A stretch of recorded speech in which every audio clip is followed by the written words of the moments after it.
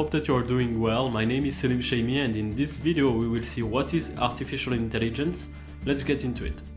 Honestly, the first time I learned about AI, I was just thinking about all Hollywood movies and it's probably your case, like you might think of Terminator or some robot that wants to take over the world, but in fact AI has nothing to do with that and at the risk of oversimplifying, you can consider AI as a lot of hidden algorithms that make the user experience greater.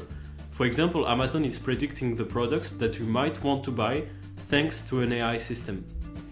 So what is AI? Artificial intelligence is a branch of computer science that aims to create intelligent machines, and it has become an essential part of the technology industry. Given that everybody is talking about AI now, you would think that it's new, but the underlying techniques are not new, and the field started in the mid 20th century. And at this time, the first definition of AI was that every aspect of learning or any other feature of intelligence can in principle be so precisely described that a machine can be made to simulate it. Nowadays, research that is associated with AI is very technical and very specialized, and you have a lot of different options. And you know there are big problems in AI that we didn't solve yet, such as reasoning, problem solving, perception and learning. So initiating common sense, reasoning and problem solving power in machines is really difficult. In one hand you have machine perception, it deals with the capability to use sensory inputs to make sense of the world around it, but computer vision analyzes visual input with sub-problems such as facial, object and gesture recognition. Learning. So learning is a big one, and machine learning is a big part of AI.